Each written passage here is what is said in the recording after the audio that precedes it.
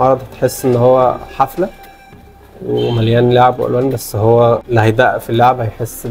بمواضيع ثانيه خالص لوحات ممكن نقول عليها ان هي قبيحه علشان هي بتورينا واقع صعب تكون هي كمان مصدر للجمال